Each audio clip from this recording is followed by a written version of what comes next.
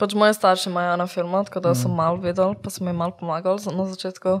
Ampak pa sem se videla, da če sem ne vem, čim bolj osebna na Instagramu, da so bili pač ljudi bolj veseli. kakor- Če sem full tako, če imam neke slike, ki so pač perfektne, pa se vidi vse, pa niso tako nahajpani, tako da sem se pač sam Mogoče tako res, po ja. feelingu. Zato, ker je zdaj vse že tako, veš, isto perfekcija. ne. Ne, se to je dejstvo, ne, ampak je to. But perfection is overrated.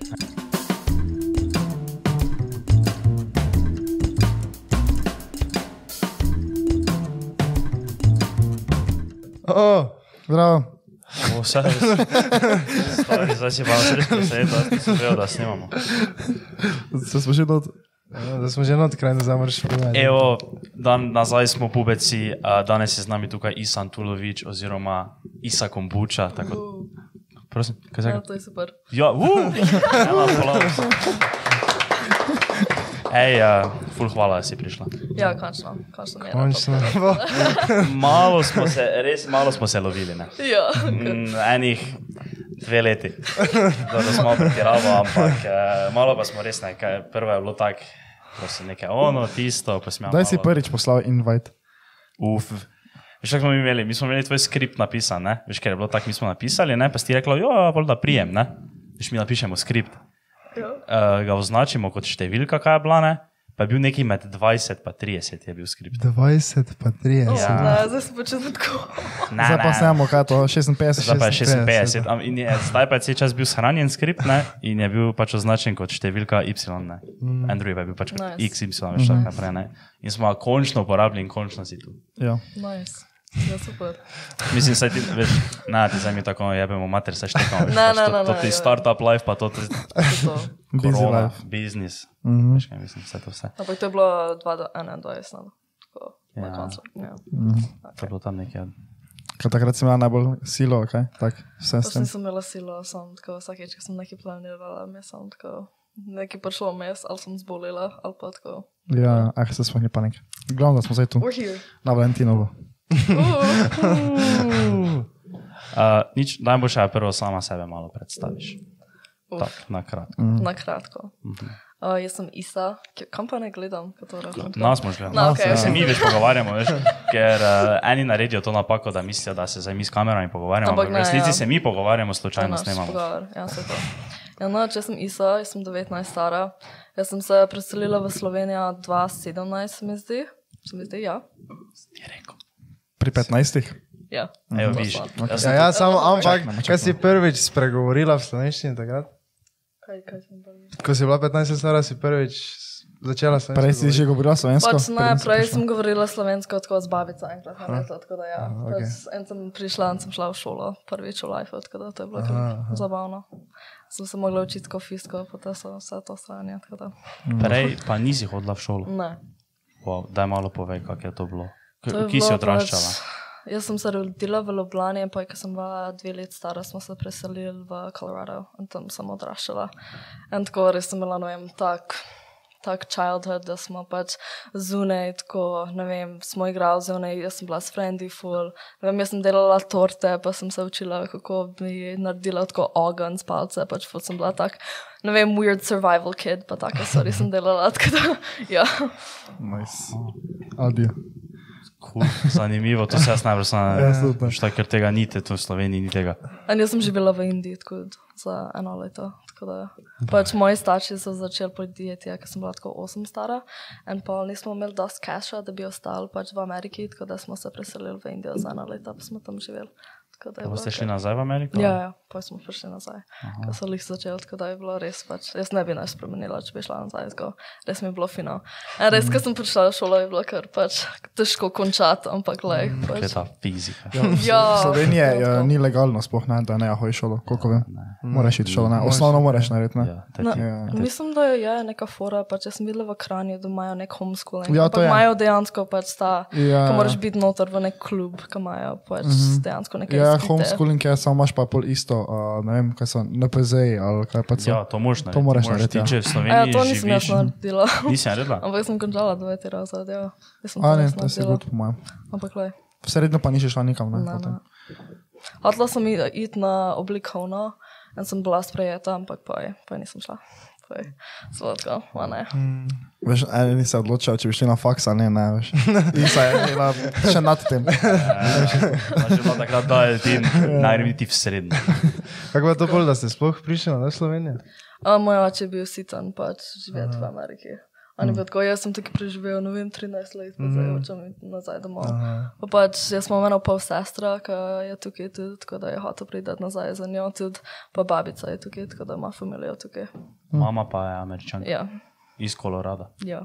No, ona je iz Massachusetts, tako da ona je iz East Coast. Sej tam smo tudi živeli za let pa pol, se mi zdi. Tako da, tam sem pa šla v eno res čudna šola, ki je bila Sudbury Valley School, ena taka ogromna hiša, ki dejansko sam prideš noter, pa tako se igraš cel dan, pa nemaš nič za delati. Tako da res, tako, dejansko je res tak alternative, sploh ni šola, sploh ne bi rekla, da je šola, ampak tako, ja. Res bila rabijo starši s tabo experience. ukvarjati. Ja, ja. Ampak res je, da tam sem se učila pač social skills, kako se pač, uh -huh. da nisem bila tako full awkward.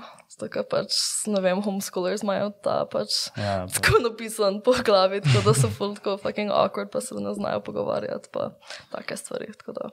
Kaj bi rekel, da ti to tako zdaj pomaga, ful, zdaj ko imaš neki svoj biznis, pa moraš tako navezati neke stike.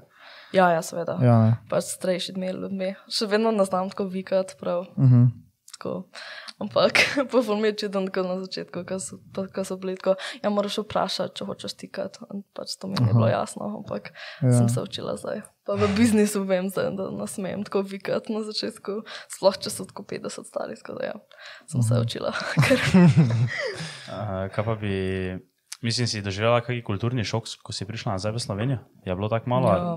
Ja, valjda, če je tam bila. pač jaz sem naravi. prišla, ker sem bila ja, 15, tako da najhujše leta dejansko. Jaz sem imela tako frenda že, pa vse tako, pa tista pur- puberteta, tako, na, tako je na začetku, tako da je bilo res, pač jaz sem prišla, pa fora je bila, da pač moja teta se je poročila 2017 in pa je rekla, da pač, da mi bomo prišli na poroko v Sloveniji.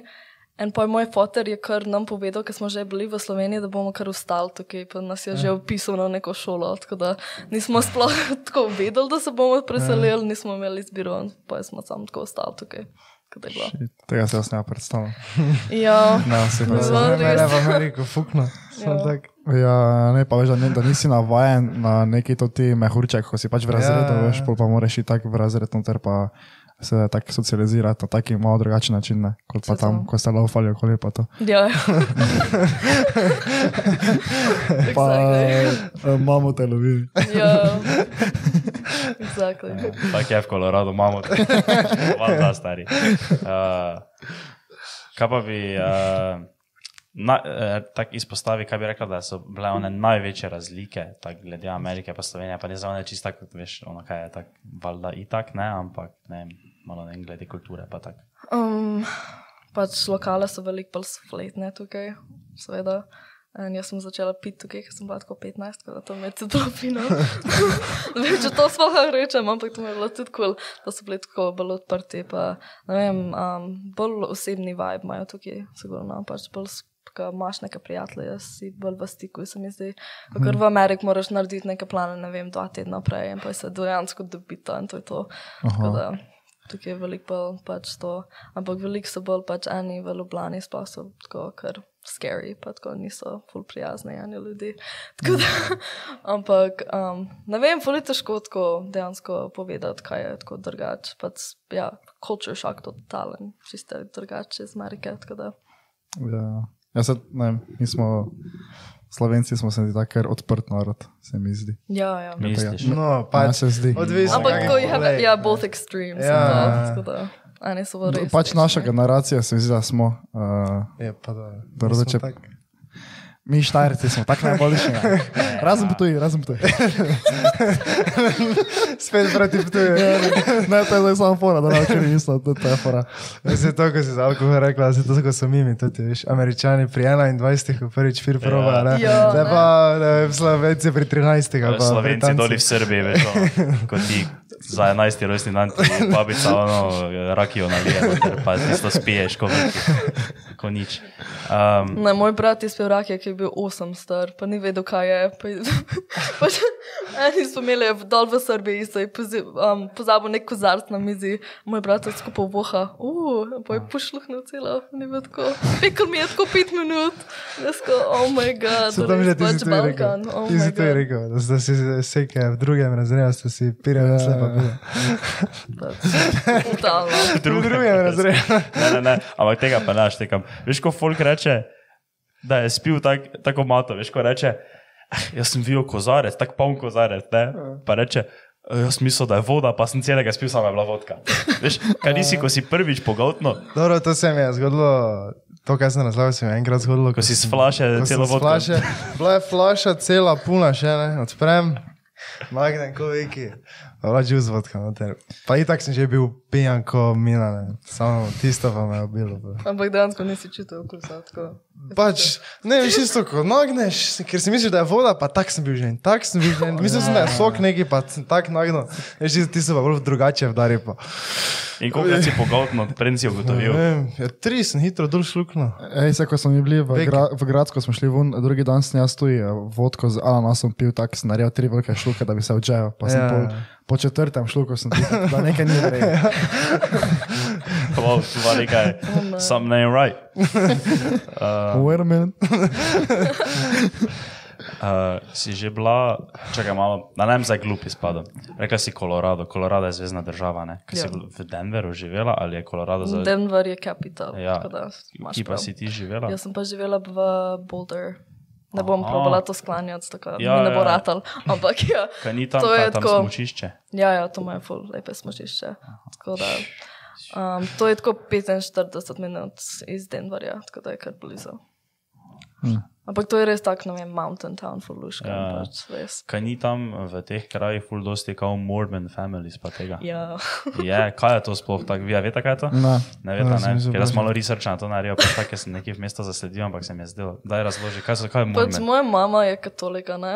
In pa je pač ona mi je skozi govorila, ko sem bila majhna, da Mormons so tako full, full pridni. In pa jaz, pač mi smo šli kot družina na neko večerjo, pač v Denverju dejansko. In ta Mormon family, oni imajo tako devet otrok, se mi zdi. Tako da je bilo tako a lot of people at the dinner table. In pač oni tako ne smejo, smejo piti, se mi zdi. Ampak poj sem šla na nek tako Mormon dance, ko sem bila tako 14 stara. Jaz pridem na ta ples, pa vsi pijajo, vsi so šli tako v VC-ju, pa so hukala up v VC-ju, pač vsi so tako se žvali v VC-ju, pa bi bilo tako čisto totalno, tako insane, pa sem bila tako, ja, ja, ful so pridni, veš, pa sem šla nazaj. Ampak, like, pač ne, full, full otrok imajo, pač to je glavna stvar, se mi zdi. Tako, one after another.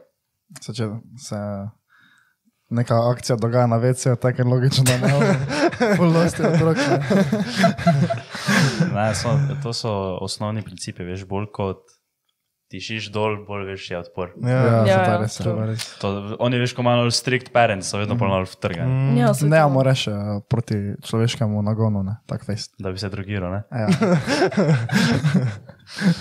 Uh, dobro, in potem pa ti prideš v Slovenijo. Mhm. Mm. In greš kako šolo, normalno šolo? Na Valdorfsko šolo. Valdorsko šolo. Poznate? Ne. Jaz sem že čul. Ne, ma, ful imajo neke, ne vem, ful imajo neke rules.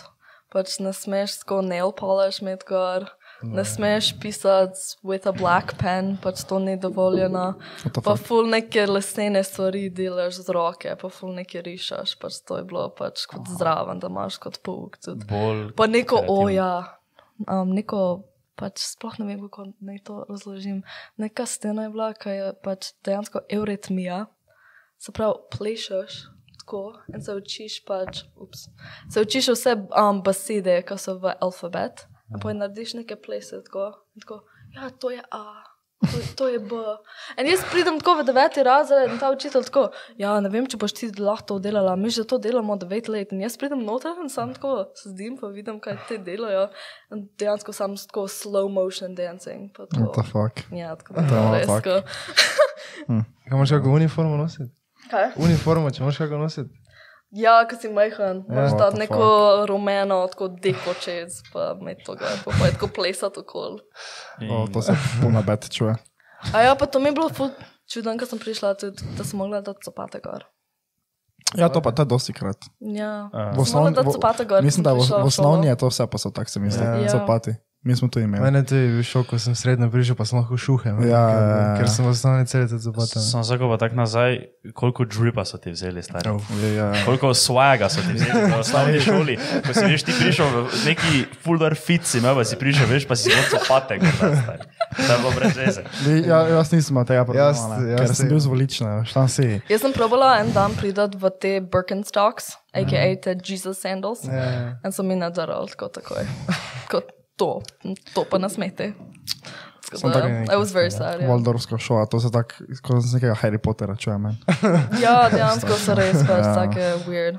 Imaš neke učitele, ki so tako beyond hippie, ki imajo samo tako big ass beads, pa take čudne oblike gor. pa tako. Eno smo imeli za kemijo, ki je bila taka, pa je bila tako. Nam je bilo ful neprijetno, tako šole, že zdaj vidim. Ja, samo eni starši pa na to, veš, ono tak face prizna, mislim, veš, to je ono. Ja, se štekam. Ampak- fora je, če greš tukaj, ne vem, na gimnazijo, pač the teachers give a shit about you, veš, ni to, da si sam neko število na papirju. Mm -hmm. pač, oni te že poznajo, res ti, res ti hočejo pač pomagati. Mm -hmm. Tako da to se mi zdi, da je malo bolj, ampak ne vem. Nisem šla, ampak ja, to sem slišala od kolege. Pač, Kako dolgo pa si po Blantu tudi šel? na eno leto. Končala sem osnovno šolo. To je bilo to. Eno leto. Ja. Tako pomeni, da bi ne Ja. bilo Mi osnovno. imamo devet let, devet let, ko reda mene mesto. Ne, ampak edina fora je pač, ja, na tej gimnaziji pač imaš enega učitelja od prvega razreda do devetega razreda. In jaz sem prišla v deveti razred, tako da je dejansko bila kot nek family. In jaz sem prišla noter in sem rekla, hej, jaz sem iz Amerike, tako fulno znam, kaj delate sploh. Ampak ne, pač še en je bil tam, ki je bil Rus. In on pač ni znal niti besede slovenščine. In pač učitelja je vprašala nekaj tako, ja, kaj to pomeni, kaj sploh govorim? In on tako, I don't know. Pač on je bil tako full hood, on je bil tako full tako prijazen, pa jak, tako ni pač ni znal, pa tako idem ga več. Kaj se je naučil prej plesati ali govoriti? Prej. No, no. Tako se je, Ne vem. tako je bil, tako. Se ga nekaj vprašal, bom pa.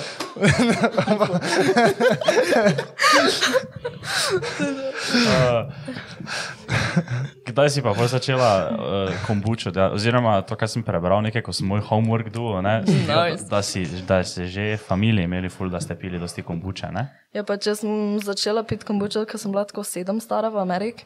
Pač kombuča v Ameriki je že okoli nekih 20 let, tako da to ni nova zadeva v Ameriki. -huh. In potem smo prišli taki 2017 in nisem imel tega.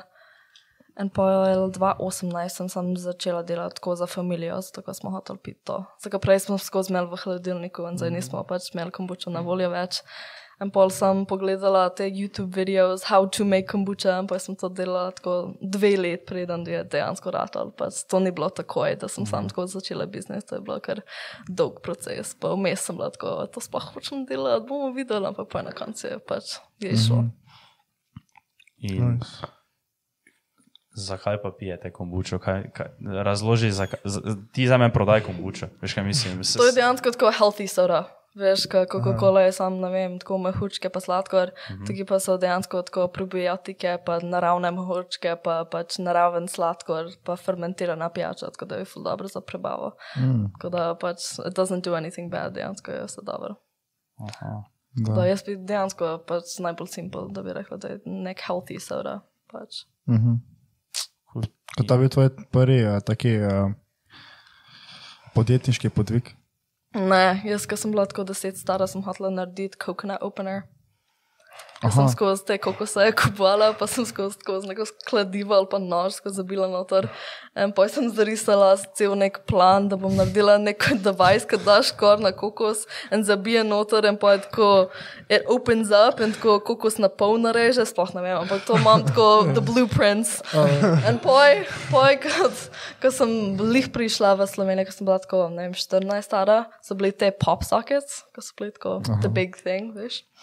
In jaz sem pač, mi smo že gledali tako na Alibaba, če bi naročil te popsakes, pa bi naredili tako to, svoje dizajne na te popsakes. Ampak thank god, da nismo to naredili, zato to je bil tako en trend, ki je prišel, ne vem, za par mesecev, ampak to je Ja. bilo to, veš. Dobro, samo eni pa to ono opalijo konične. Veš, ono, ko so bili oni fidget spinneri. pa Ja. Ja, ampak zdaj tega ni Ja, tako. to a se ne veš, obstaja, to je samo samo, tako za samo imaš pa na. YouTubu to te dropshipping mm -hmm. videe, ko so eni po, je rekel, da je v enem letu zaslužil 3 milijone ono net, neto profita, ja. Z tega, da je fidget spinnere prodajal prek Ja, interneta. Ja, mislim, pač. Veš, kaj sem se zdaj spomnil, preko si rekel, da sem imaš ti blueprint uh, za te coconut opener. Mi ne, to bo dve leti nazaj, verjetno smo se vem hoteli iti ja, vem kam, biznis, kao ne.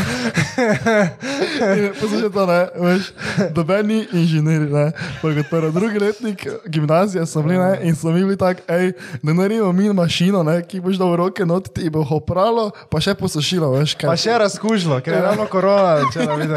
Ja, pa še Pa še razkužilo. In tako brezkrica, mi smo se tako dvakrat dobili, pa še narisali. tako. Je to zdaj pretiralo. To že je riso, Ja, ja, ja. Ampak ni se bilo več tako, no, eh, biznis plan, samo to naredili, pa nekaj ne vem kaj. Bilo, tako je bilo pač slučajno, tako da nismo vedno pač ne vem, pri meni hangati, pa nekaj pri njemu, ne. Pa smo pač slučajno, pol tako nekaj začeli meniti o tem, kako bi se mi to naredili, ne. Dobro, samo je pa bila volja, veš, kaj Vse že še je bilo, pa to bo vse pozadme, to še bo v bolnicah, robili zdravstvenih domih, to Ampak prva pa bila ideja za Jack and Joe, se spomnim, ker sem bil jaz tak, da mi gre to ja, Jack kurac. and Joe. Jack and Joe, ko sem manj cele masne prste, pa vam moram niti prste, ko pa v kaj. Uh, Ja, pa si WC. mitna, Ja. to ne. Ne, se jaz sem dobila lemon Ja. wipe danes. ja, Ja, se dobiš samo- vedno. Samo ga moraš "Uh, odpreti, limona." veš, bo ga moraš odpreti. Samo ko si, ko si tisto plošče v celo naročiš, vse z rokami, veš, te ne, vsega dol dobiš. Ampak jaz sem videla enega modela, ki je tako rezal burger pač with a knife danes. In sem bila tako, why, why? Če so fini. Pač dejansko, tako. Ne, samo glej. To ni bila slaba ideja. Če bi ti to izvesti, Ja. znal, veš, kaj mislim, torej je bilo ono, to, kaj je, šteje, veš, ono, da si Ja. spet- A pa tudi, ko slovenci jejo pico, pač z nožem. Mm. Ko je? Ja, mi se režemo, ne. Ja. A z nožem, da je Ja. špica. Ja, ne, mo- naprimer, jaz ne, jaz si, finger food, Ja, pač tako, to. veš, si vrežeš, pa Ja, tako ješ, ja. ne, jaz jim, mi znavija tudi tako je ta pica, Ja, ne. ja. So, ne naprimer, moji starši vedno, Ja, ja, ja. Moj. Ampak dejansko burger, kaj je tako. Ja. Tak burger. da to je samo da- to. je jasno, kako to reže. Eni, veš, ko si, najboljše, ko si še ga, veš, tako dajo na razen, veš, pa pa tako si vrežejo kos mesa, pa kos kruha, pa malo solate. Pa vse skupaj dajo. Je, Kako se to sploh reče? Da kuhaš kombučo? Da fermentiraš, Fermentiraš. kombučaš. Kaki proces je to? Kaj to pomeni? Proces je, da imaš eno tako golivo, a.k.a. skobi, simbiotična kultura bakterije in kvasovke, to imam v možganih že. Um, in pa daš pač to gobo noter v sweet tea, pač čaj, ki je full sladko, in pa je postiš to za, ne vem, 7 do 10 dni. In ta goba naredi airtight seal, poje vse sladkor, ki je noter v čaju, pa malo kofeina noter, in pa je na koncu pač je taka kisla, bubbly čaj, ki ima full pač dobrih učinkov. Mhm. Ko to si začela tako doma, si si naredila Ja, neko ne, pač delavnico. v oče je imel pisarno, v nebotičniku v centru in tam sem se začela. In enkrat sem naredila, pač to je prva fermentacija, in pa je druga fermentacija, je, da daš neke sadje noter v neko, pač, neko steklenico in pa je zapreš, da je ta airtight seal. In pa je pač to na začetku, nisem videla, koliko časa ne pustim in sem pustila tako en teden je bilo čisto preveč in sem odprla in neko špricnil ga do pač stropa. Oči je bil, oči je bil full pist na koncu, ampak pač to sem se učila. Pač ja, tako da prva fermentacija in zdaj da dodamo hladno stisnjen sok noter in pa jo pustimo za drugo fermentacijo, da dobijemo hruške prav v steklenici. Tako da to je to. O. Ja, To pa je postopek. Odkud, uh, kako dolgo pa je potem tako trajalo, ne, da si ti prišla v trgovine s tem izdelkom? Uf. Pač na začetku sem šla trkati po te lokale v Ljubljani, uh Mhm. -huh. ko, sem ko sem bila 17 stara in sem imela tako eno tako škatlo, še flaške noter. Sem tako živel, jaz sem isto, pa imam eno pijačo za vaš. A Je mogoče, je mogoče šef tukaj. In pa sem dejansko mogla pičati. Ampak po enem koncu sem dobila tako 30 lokalov v Ljubljani, tako da sem bila full of presenečena. pa je. Pa pol lih smo me, dobili nek marketing tip, nek sales guy, tako, tako na začetku, in on je že tako začel povedati okolje, tako čisto na minimalno. In pa je takoj, ko je korona prav pač udarila, pa vse lokale so se zaprli tako od oktobra do 21, mi zdi, smo prišli v DM, tako da to je naš dejansko pač rešil na začetku. In pa, ko smo prišli v DM, je bilo malo lažje pač priti noter v Merkat. Uh Mhm. -huh. Čeprav je tudi trajalo, ne vem, nekaj šest mesecev, da smo dejansko prišli noter. Si zdaj, Si bila ti na to temo Štartaj Slovenija? Ne. Prva, nisi bila, ne? Kak, Štata Slovenija moraš podpisati neko pogodbo, da si boš sam v tej špart trgovini za dveh pa pol let, se mi zdi. Oh. Tako da pa, pač sploh ne moreš zrasti. Ja. Fulje, tako pomajo stroge pač pravila. Okay, to je res malo tako. pol. Joga. Ja, Um, zato pa nikoli nismo našli tam, ko je bilo štarta Slovenija, kombuča. noter. Nismo se mi govorili, Ja, se res, nekaj ja. smo se imeli, da bi ti naj bila štarta Slovenija, samo očitno. Misli smo. Misli smo. No, vse so še oni drugi, oni so. Ja, nek- ta- neka Ja, ja, kombuča ja, je, ne pa bila neka kombuča, ja, samo Bila je pisalo. kombuča. Ja. Oni so prvi v Sloveniji. da. Aha. Ja, pa ta star title. Ti si pa druga. Jaz sem pa bila tako četrta, ali pa tretja. Ampak ostali dve so bolj pač na, ne vem, mini scale, pač oni so bili po par lokalov, to je bilo to, niso prišli pač v večje trgovine, tako da so bili bolj. In uh, kak je pa, na primer, zdaj to ti postopek, kako kak ti priješ Merkator? S, s kom se moš pokonektati, koga moš poznati? Pač to je ta tip, ki smo imeli, ta sales guy, tako Ja. da on ima svoj uh, transportation company, tako da oni peljejo pač, on mislim, da je peljal neke mi milka, neke čokoladice okoli po te trgovine, tako da on je imel te zveze dejansko, ampak poj, ko sem prišla, pač on je kontaktiral te, zakaj je imel te povezave že, ampak še vedno pač Mercator, oni imajo tako najbolj počešnejši sistem v Sloveniji, za tako naročati, pa tako pridati noter. Ja, se, sem, se sem vi na blagajni. Ja, ne, pač dejansko, pač jaz pridem noter v centru, pač v ta Maxi, ta, ta glaven markator v centru, pa nimajo kombuča, tako enkol. Tako da naročajo tako enkrat na teden, pa je zmanjka, pa je sam nimajo tako, ne vem, pet dni, tako da ne dobijo še enkrat, veš, tako da je full. Merkator najboljši sosed. Slabši sosed. če veš, včasih si bil tako navajen, pač kar je bil. Včasih ni bilo hofera. Ja, Veš, se Ja. spomnim. jaz se še ja. spomnim tega, da veš, ono, mi smo vse kupovali v Merkatoru, ne, Ja. ja. smo v Lenartu imeli ono samo Merkator, to je bilo to. In je ti bilo pač to samo mevno, tako je. Meni pa je to zelo prav šok mi je, ko grem, veš, ne vem, po poti do šole, ko imam pač en Merkator in jaz grem in bi se ne samo kupil neko vodo, čokoladico ali pa neki sem veš, banano, kajkoli ne. In to tako počasi gre. Ona v Hoferu, pa ne folgam, veš, niti denara, vzel. pa mi 47, no, za tri vrečke nakupa mi Ja, skozi potisne. ja. V tistem času, kaj mi ona tam zaračuna, en pir pa čokoladico. In Merkator so res počasni. Ja. A pa najhujše je, da imaš neko listo, pa greš v markatorje, pa dobiš tako tri stvari. Pa je pač ta lista, pa tako, ja pa rediš nekaj, rabim pa kumare, pa nisem imel kumare, pa, pa grem v hofer, pa tako moraš skočiti tako. Tako da res pač. Uh, kak je pa bil tudi proces, da je to prišlo iz nekega hobija, da je to šlo v biznis? Kaj, Ne, to je bil ta pač, starši so mi dejansko rekli, tako, ali boš dobila službo, ali boš začela biznis, ali pa boš šla pač v gimnazijo. Ti imaš pač te tri opcije. Tako da pa sem bila tako, ampak jaz, ko sem bila tako 15, ko sem to začela delati, sem mislila, da bom prodajala svojo kombučo na tržnici, da bom imela svoj šank, pa to bo to, veš, nisem tako sploh imela v glavi, da bi lahko to dejansko naredila, pač tako kapaciteto, kot imam zdaj. Pa se zdaj to vse skupaj dela. Zdaj imamo proizvodno, um, b- se ne, mislim, da ne boste poznali, ampak Orto bar, to je nek bar v Ljubljani. Ampak imamo kar veliko proizvodno, mislim, da 300 metrov zdaj imamo, pa eno full veliko mašino za flaške polnic, tako da smo res. Ampak mi smo to začeli v nek um, skladišče, tako nek basement, ki je bil. Um, Star butcher shop, tako da, ko smo dobili ta plac, je bilo tako gaban, da smo mogli pucati tako dva tedna, pač res je bilo tako pusteni, vse ta maščoba, tako res je bilo tako full, full gabno, ampak tam smo začeli in pa je tako dejansko v, ne vem, 7-8 mesecev smo že prerastali ta plac, tako da je bilo kar, kar hitro vse se je odvilo, tako full hitro. In kaj poznaš številko, mislim, če ni skrivnost, ne vem, koliko flaš napolnite na dan. Ja, povprečno. mislim, da rekordno smo 6500. v enem dnevu. Ja. Ampak to ni tako, to se začne, ko stisnemo ta sadje. In čeprav vem, za, naredimo tako en okus en dan. In Ne vem, ta razmata je najbolj popularna, ki je maline. To dobimo tako 80 kg malin, to, ne vem, 70 kg ingverja in moramo vse to pač spucati, pa pač dati čez to mašino, ko imamo ta cold press in to traja tako full, full časa. En pol moramo začeti pač te flaške polniti in to je še, ne vem, 7-8 ur, tako da vse skupaj je tako ono kol, ne vem, 13 ur se mi zdi. Tako da ni, ni prav hiter, ampak še vedno pač je šlo. Koliko pa, koliko pa imaš zdaj, recimo, nekih zaposlenih, oziroma ko ti pač to delajo? Štir. Štiri. Ja. Ampak kvali je tako smešno, zakaj jaz sem 19, pa vsi so tako od 25 do 30. Tako, hej, what's up?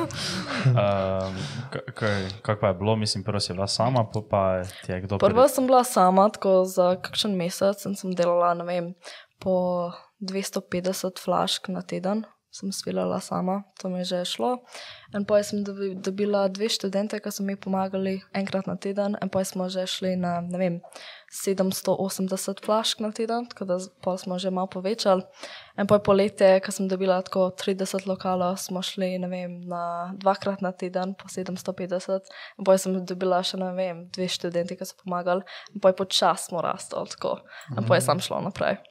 In potem nad- v ta plac smo imeli tak ponilnica, ki je bila taka, tako čist mečkana, ena taka, pa je šest flaš naenkrat pač ponil. Pa je šest flašk, in pa je gor, in pa je naprej, in pa je šest zamaškov gor. In pa je šest flašk, in pa je to tako, smo delali tako po deset ur, tako da je bilo res zabavno. Tako da. Ja, res sem se počutila kot nek robot, pač Ja. dejansko je samo tako. Eh, to to fabriki dela. Kaj si ti, fucking stari? Ko sem delal tu v Lenartu, imamo tu eno tovarno, 8 ur na dan. Eno in isto stvar, celica. Kaj si ti? Ubijem se. Meni se je tako strgal to poletje, ker Ja. sem sam dajala tako flaške noter v škatle, pa je naprej. Ja, Sem ja, sam to delala tako šest ur in potem na koncu sem bila tako, kaj sem jaz sploh delala, veš, tako, what? Ampak res. Pač- veš, si ti tako dala za sebe. ja, ja, Ja, ja, seveda, seveda. Ja. Malo to pa je delo za BMW.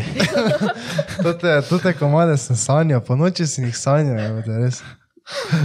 Oh. Pa kaj zdaj še tako isto, moraš ti pomagati, kot si na začetku, ali imaš zdaj že malo No, tako? pač zdaj je fora, da imamo skoraj cel slovenski trg in zdaj moramo iti v Nemčijo za našo firmo, zato smo že pač nimamo dosti profita. Pač zdaj smo lih na break-even, to pomeni, da pač ne zgubljamo več cache, ampak še vedno pač ne Na delamo. break-even ste Ja. na slovenskem trgu.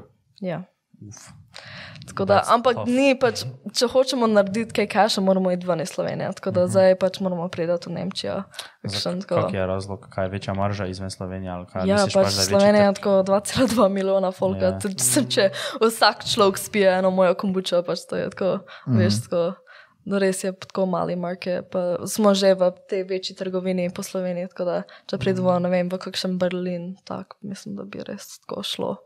Ampak res moramo priti ven. Pač, pa zdaj pač, ne vem, kombuča je za skozi, ampak še vedno pač zdaj je februar, mrzlo je, pač ne pijejo ga to, ampak sej, uh -huh. pač to je normalno. Poletje sem tako delala, ne vem, sedemkrat na teden po 12 ur in zdaj delam tako, ne vem. Dejansko v proizvodni nisem delala tako, ne vem, tri tedne se mi zdi. Tako da zdaj se je veliko umaril, pač se imamo veliko bolj počas, kot smo imeli poletje. Ampak, lej, to je firma, tako da, ja. Mi smo v minusu. Podcast brez filtra je to bolj slabo kaže. Začeti nemško govoriti. ne bi samo nemške podnapisane. Malo. Ja, ne? Uh, kako imate razdeljene vloge, to ti štirje, kaj ste?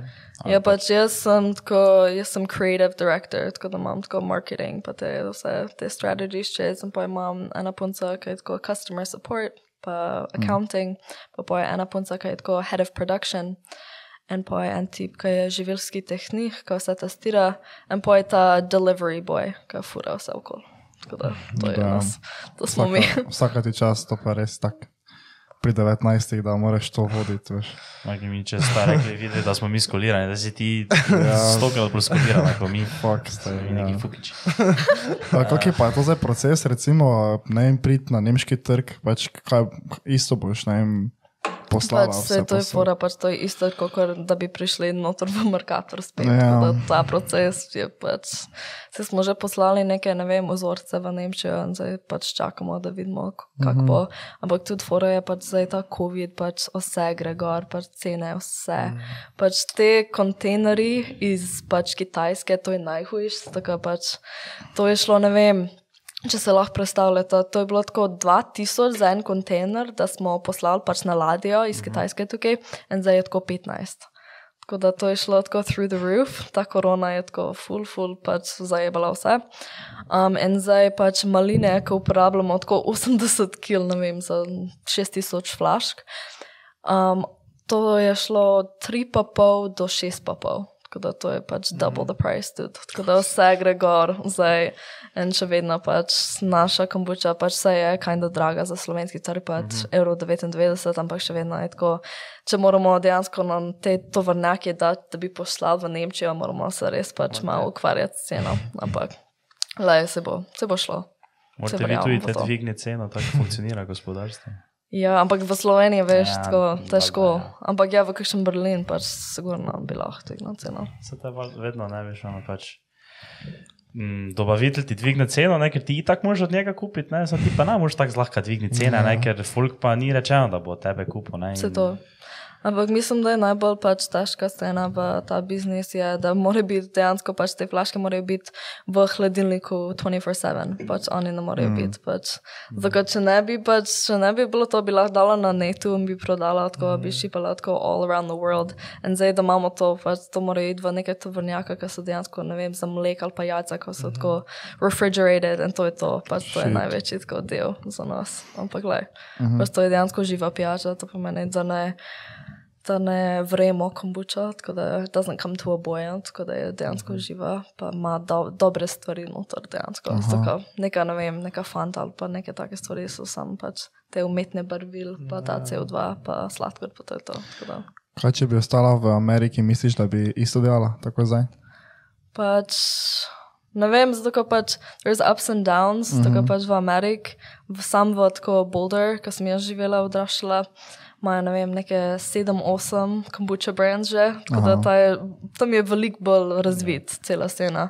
Pa, ko sem jaz tukaj prišla, pač so bile, ne vem, tri na trgu. tako Da, ampak ja, veliko je bilo bolj težko, pač, zato sem res te pač informational posts mogla skozi objaviti, kaj to sploh je, zakaj je to dobro, veš. Uh -huh. In moja slovenščina res ni najboljša, sploh kad ko pišem tako, na text message ali pa te Instagram objave.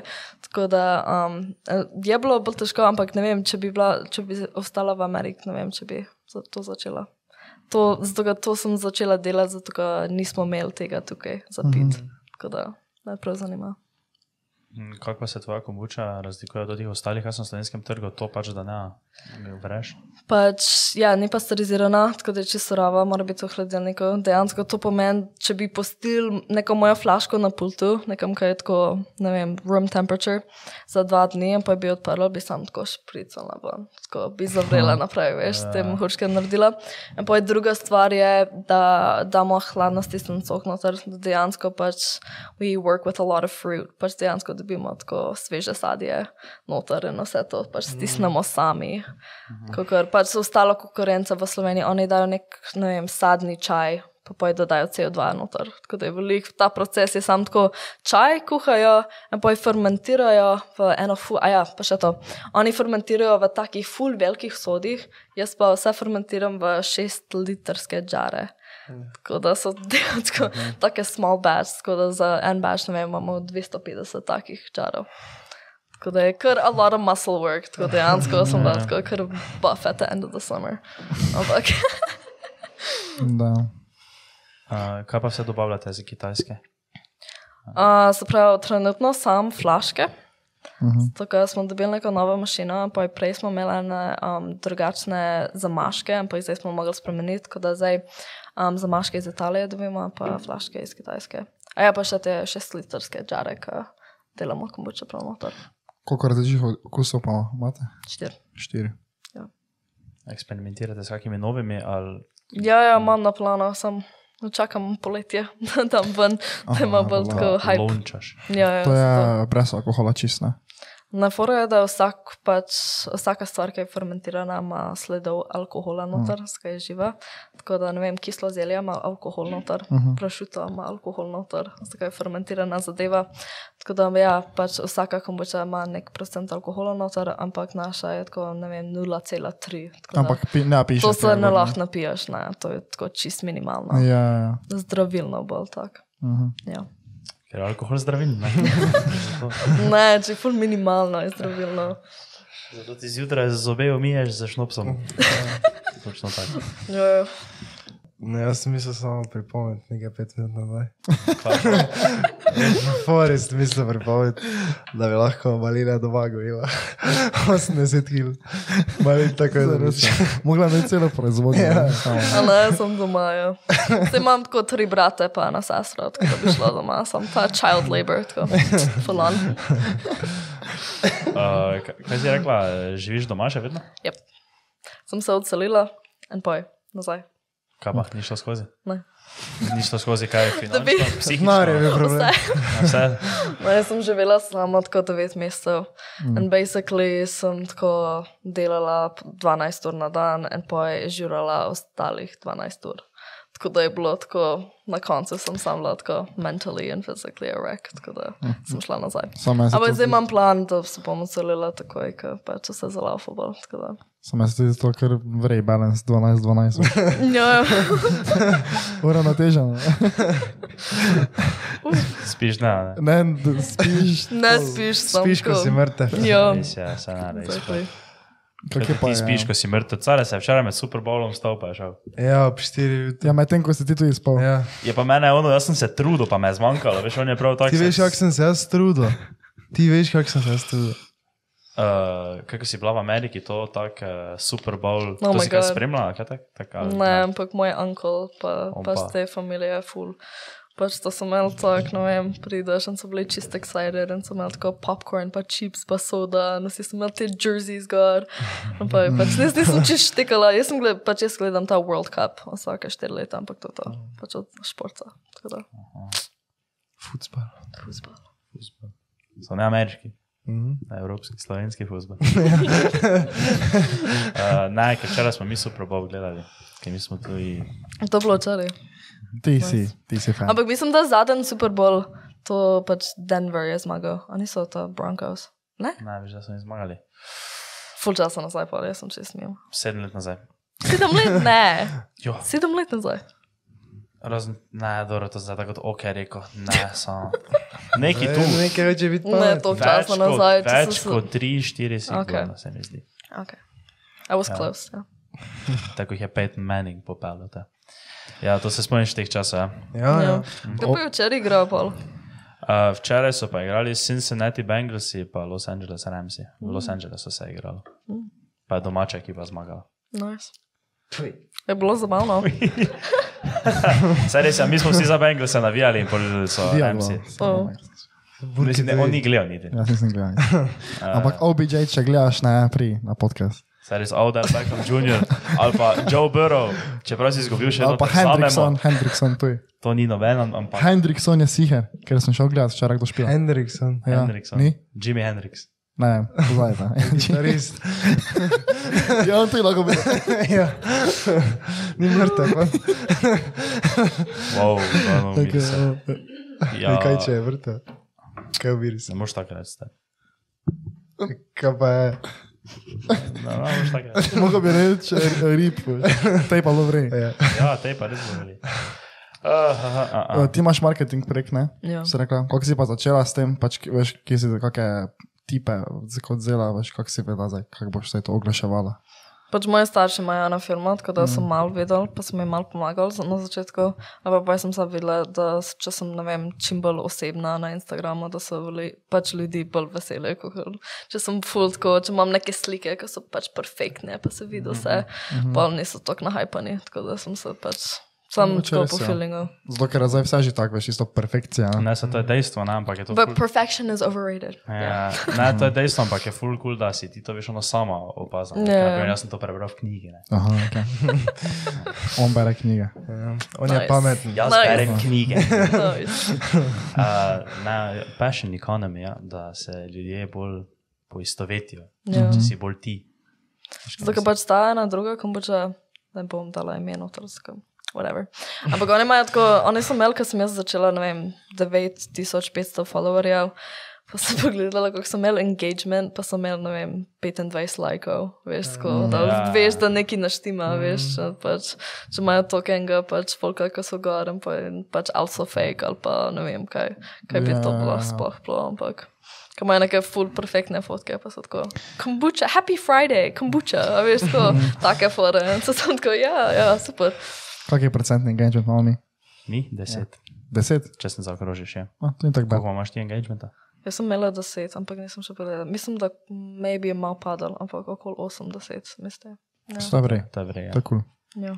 Najboljše, ko imaš tisoč, pa ima en procent engagementa. Ne, to je to ful bad. Kako bi nekako. Kako bi odvrednotila svoj startup izkušnjo? Kaj, mislim, bi to, veš, ono, ko nekaj, vedno se v startupih pa podjetništvo govori o tem, kako denarja se zasluži, pa ono, pa gor dol, ne. Ne, ne, Ampak ni tako, ne. ne. V resnici, ne. Po pa nekdo, na primer, to sliši, pa je malo bolj tak, potem bolj skeptičen. No, mislim, da imajo nek procent, tako 90% of startups fail. Ja.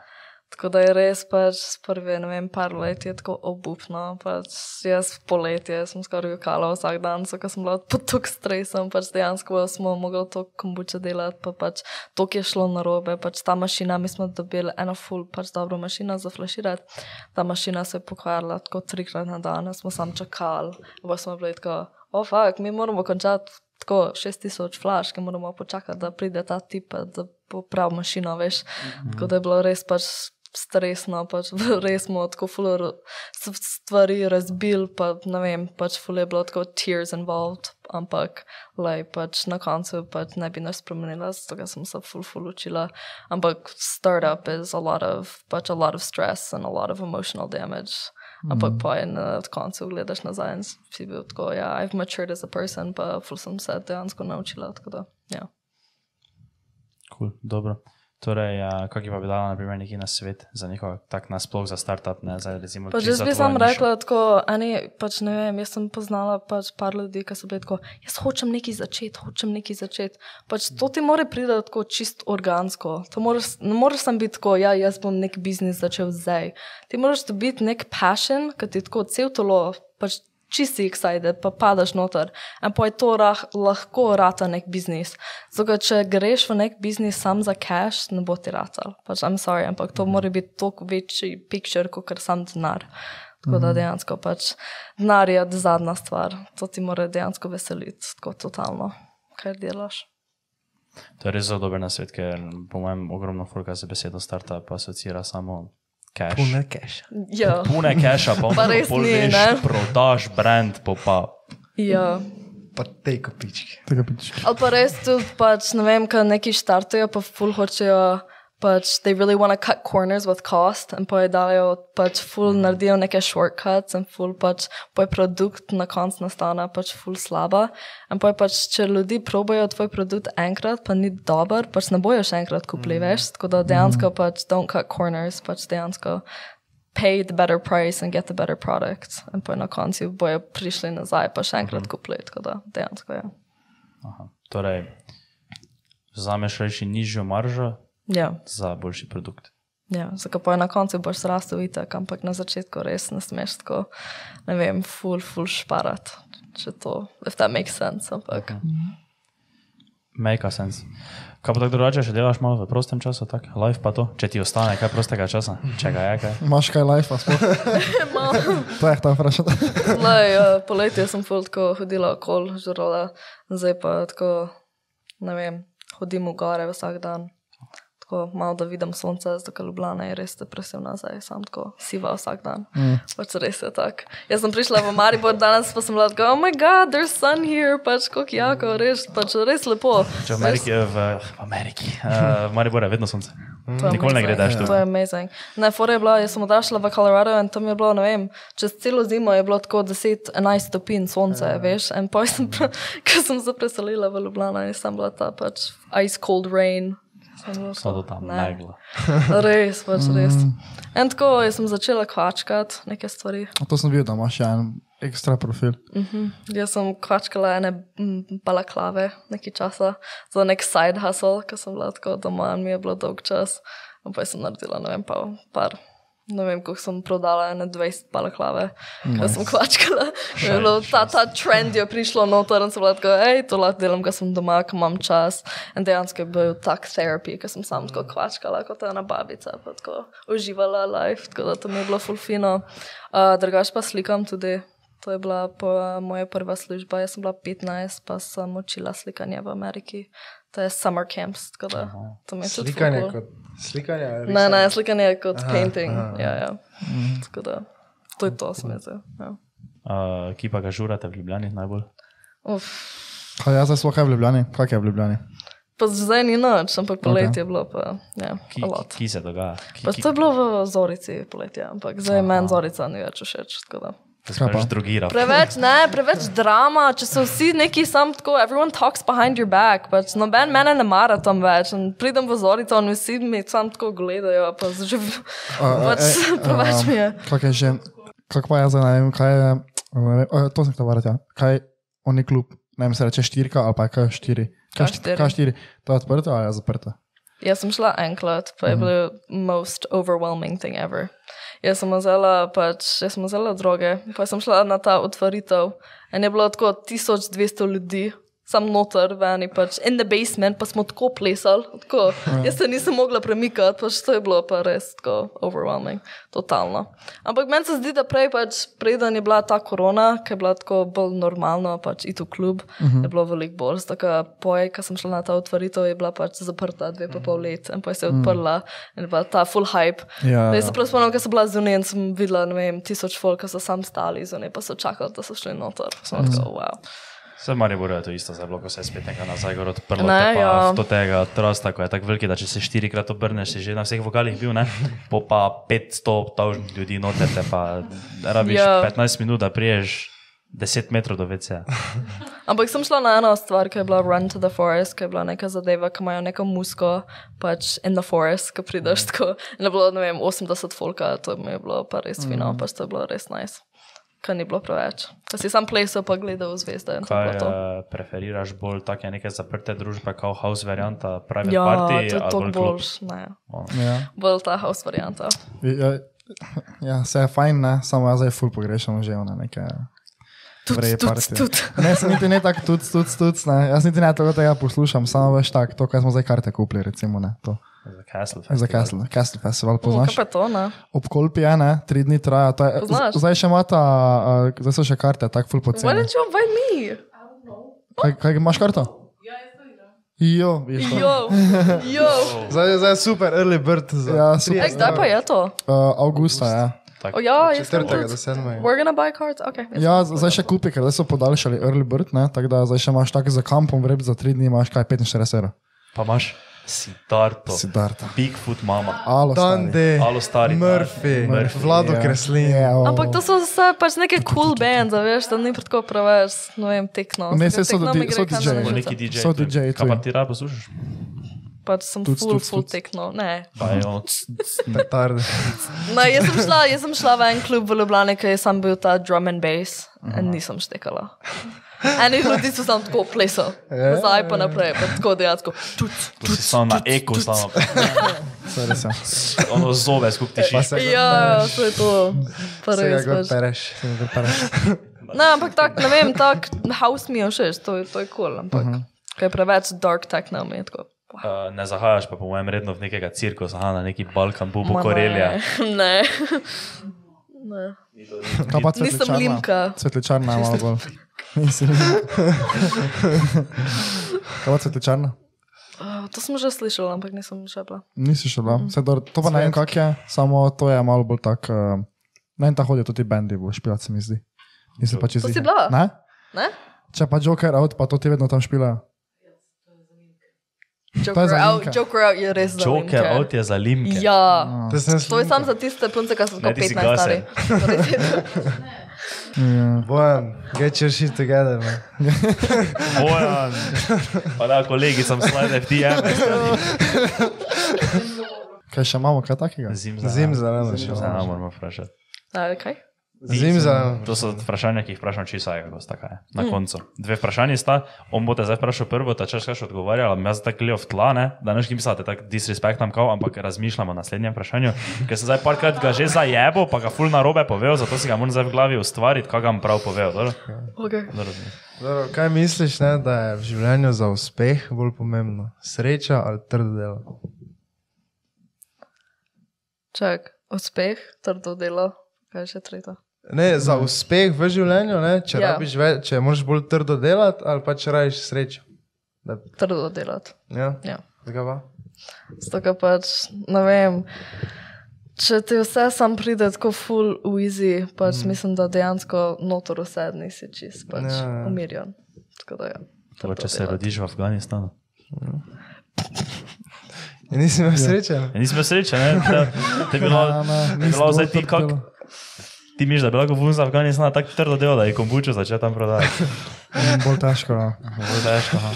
Ja, no pač ja, dosti fulga različno reče, ne, ti si rekla trdo delo. Mm Mhm. -hmm. Jaz sem vedno rekel sreča, ker že ne vem, kako malo možnost je, da si se sploh ti rodil, da si ti. Čuje se to. Tako da si imel srečo. Dosti true, ja. Mhm. Ampak tako smo vedno rekli, boljše je verjeti, da trdo dela. Ja, verjetno je. Čist tako. Ok, krenc. Hit it. Ok, I'm ready.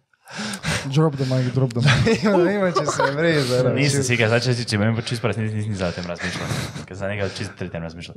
Um, Mam. si na vrhu tobogana, Na potuju. na Ptuju. Na potuju. Si že bila na Ptuju?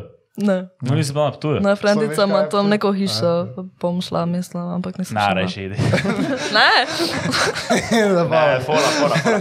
To je inside, to je inside joke, zato ker se vedno malo zabavamo s Ptujčanom. Ker je to veš taka finta, je tak, uh, ker vi v Ljubljani moče mislite, veš, da je Ptuj pa Maribor isto, ne, samo pa tu, eni ljudje so pa tu veš ful užaljeni, če tak a ja. si ti ne iz Ptuja, pa ti reče, da si ne Maribor. Če, Ma ne vem, jaz ne, ne poznam take fore. bom- ja, pač, ne, ne veze. Glavnem, na Ptuju so to pogani, taki ful. Okej. Dol. Ne?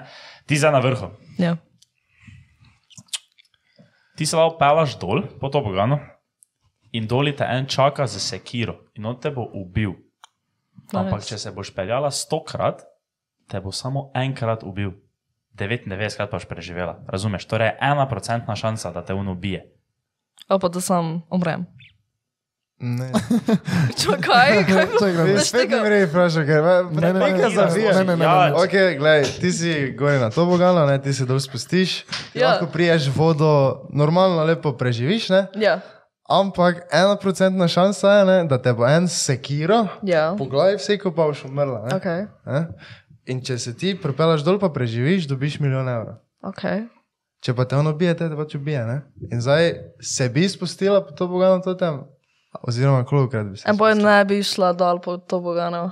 Kaj? Ne bi umrla. Pač kaj je vprašanje, če bi šla Če dol? bi, ali se, ne? če bi se spustila, če bi, Če če bi bi, se se, če bi to vzela Kolikrat se bi spustila? To sploh ti izbereš. to si lahko Ja, ti če bi izbereš, se, če pa bi- koliko krat, Ja. kolikrat bi se, če bi se, lahko se To je, enkrat. to je sam Russian roulette, ni. Ja. Ja, ampak, Samo, samo ena procentna šansa. ampak Ja. tu zdaj mi eh, v resnici v, v globjem pomenu sprašujemo, uh, koliko bi ti ramela cache. Pa koliko ti življenje pomeni. Veš, ker, vem, eni pridejo ne, in rečejo, da so jim ne bi nikoli pelali, ne, ker niti ne bi radi tega enega procenta, ker familija. Veš, kaj Cash ni Ma naj, jaz se bi spustila, zato ker jaz Kolikrat? pač, meni res ni strah umreti. To sam da full deep, ampak res tako. Koliko krat bi se pelala? 200 krat. Ja, ja, tako. Ne, ne vem, tako. Osemkrat. Ne, ne, desetkrat. Ja, 10 milijonov. 10 milijonov. Samo torej, če se moja matematika, ni, če je moja matematika pravilna, ko se ti desetič pelaš, ne, Ja. imaš 90% možnost, da preživiš. Ne vem, če je točno tako. To je, Zato, ker so, ker so pač, eh, eno, eno nam je v komentarje napisano. to je bila dobra debata. Ja. To so se vrej vdarili. En nam je v komentarje napisal in pač, pač kak je, če se ti stokrat pelaš, enkrat umreš. Ne? Ja. In pol več naslednjo je 99 krat se pelaš, pa lahko enkrat umreš. Mm. Pol pa je spet 98, 97, 96, pa še lahko enkrat umreš. ne. Tako da na koncu priješ do ena, do zadnje, ko boš Ja. pač kao zihar, samo to je statistika. Uh, zdaj imam drugi semester, imam statistiko. Ti bolj povejo, kak je na stvari. Ali pa naj neki škrava komentira. Da. Ja, se res, ja, bi to znal obrazložiti. Bomo klipnili, pa bomo poslali na mail, pa bo povedal. Ja, dobro, torej desetkrat rekord. Res? Si rekel, ja. Noben je rekel še. Rekel. Fucking powerful woman. Ja. Ja, jaz sem rekel štirikrat. Ali ne, osemkrat sem rekel. Kakao pička. Ja, nič. Bomo zaključili podcast. Uh, Razen, če imaš ti nas, kaj Ja. ja. vprašati. da ste to sploh začeli tako vratno. Uradno. Ja. S prvim podcastom smo začeli. ne? ja, s prvim podcastom smo začeli. Kdaj ste to pač posneli, pa dejansko pač dal, ne vem, na YouTube. Novembra. Novembra, ja. Dva- res? 2020. 1. november 2020 je bil prvi podcast. Nice. Zdaj smo imeli eno letno In kako ste bili sam tako, ja, podcast, mislim, že po, pogovarjati pač with Ja. people. Nice. Ja. Radi smo se sami imeli. pa A vi ste že vsi frendi tako full časa, mislite? Ja. Pa niti ni tako face dolgo časa. Mi dva s krajnicom se poznamo že od osnovne šole. Da smo day one home, ja. Ja. Tom že pa še ga štule nekaj. Ja, spa. ja, s sem že, pa srednje. smo se v srednji. No, jaz Tak nice. drugi letnik se mi zdi, ne? Nice. Da je bil. ja konec drugega letnika smo se začeli družiti. Zdaj pa smo tukaj, smo. Ja, pa delamo to, kar Kako delamo. ste dobili največ ogledov? Od koga? Ne. Ali? Koliko jih je bilo Na- največ? ja. Še 38 tožen imamo na. Nice. Ja. Kar dobro za Slovenijo. Zato, ker smo veš tako cloud chasali, koliko gre, Ja, veš, ono, in tisto. smo, in smo Sam date title tako. Ne, Yeah, ne. she wanted to die ten times. ono, tak fej smo bili lačni pogledi in smo en teden po sanskem moškem povabili zmagovalko sanskega moškega. Ja, ja. In pol je ona prišla sem in je, To mislim, da sem pogledala Ja. na YouTube. Ja. in je so vsi na svetu hoteli to očitno gledati, ker si jih je 37 stavil. Se za lahko spet nekaj kl- taki. Uh, Zakaj niste povabili unga modela, ko vsi hejtajo? Smo ga hteli. Smo ga hteli, samo pač Samo to ni je takrat odpisal, samo boljše, zdaj tu je ne. vse boljše, vse boljše, da nam ni odpisal, ker pogledi muksl.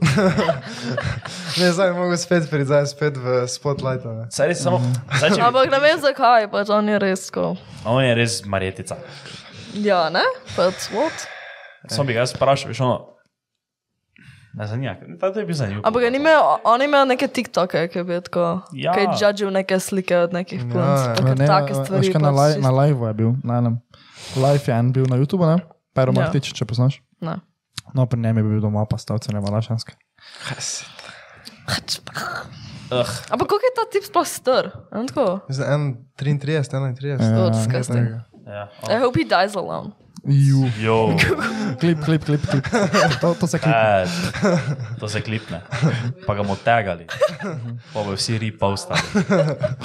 Pa imeli full ogledu. Torej, če ti on, če te on zdaj tebi napiše, ne vem, koliko recimo, da ima on ima zdaj 30k followerov, ne? če se lahko s tvojo kombučo, ono, mm, kako je to dobro, uh, uh, uh, mu ne pošteš kombuče. Kaj? Da bi on promoviral. Ne, v lifeu ne bi to hotla. Zakaj? Ja. Ne, ne, ne. Jaz nisem pa tak cloud chaser. Kaj pa, eh, kaj pa, ne vem, koga bi recimo neko od slovenskega influencera, ne? Komu bi recimo? No, to mi je to ful težko, zakaj jaz to primerjavam pač with people from America in pa sem tako, vsi so tako full micro-influencers, pa tako Ja. vidim neke Mm. čudne ljudi na TikToku, ki sem tako, wow, Slovenian influencers, wow. Ampak res pač ne poznam sploh nekoga, ki bi tako, Mm. wow, he's really famous, ali pa wow, she's really famous. Pač Slovenci tako, ja. 100% Slovenci so tako, ja, ta pevka ali pa ta Kdo je, igralec, kdo je najbolj slaven slovenec? Luka Dončić. kdo- Koga ti vidiš kot najbolj slavnega slovenca? Ma, Barut Pahor. Ja, ker to ni ne? Ampak je Luka Dončić, je po mojem najbolj Ja. Ja, ja, true, ja. Ja, Se on, on igra za uh, fucking Dallas. Nuggets. danes. Ne, Dallas. za Da. Za Dunks. Za Dallas. Dallas. Dallas. Dallas. Ampak ni on Texas. igral nek časa za... Jokic špila pred nami. Ni igral za Colorado. Nikoli. Ok, my bad. Se ne znam. Tako, Jo, da ne bo zdaj roastali. Boris? Ampak ja, ja, no. Ja, njega sem videla, sta polisalama na te avtobuse, ki se vozijo okoli. Uh, nič, hvala si prišla. Še enkrat, ja, hvala vam, da sem končno prišla. Pa, sorry, za to krat skenslala. ni panike. Uh, povej, kaj naj počekirajo od spodaj v descriptionu kanala videa. Kaj ti naj polinkam? Kaj ti naj polinkam od spodaj? Mm, Instagram, ja, Instagram, mislim, da to na vas. Imaš TikTok? Mama, ampak bolj take kuharske stvari delam, tako da Instagram. Da. Dobro, počekirajte Instagram, uh, se vidimo naslednji Pa teden. komentirajte. Kaj, kaj naj komentira? Ti povej, kaj naj komentira. Ne vem, če je drugo, fuga to vedno. Kaj smisel neko in kaj? A, Ne, ne vem, kaj bi rekel. ne. Nek cloud chasing comment. Ja, ja. Ja, ja. Ejo, kak je okus kombuče, radi Komentirajte, videli. kjer je okus bil. Če pa ne veste nič o kombuči, te pa samo napišite, da smo mi cloud chaseri. Hashtag cloud chaser. Hashtag prokleti cloud chaser. Dobro, nič. Nič, ajde, čau. Ajde. Ciao.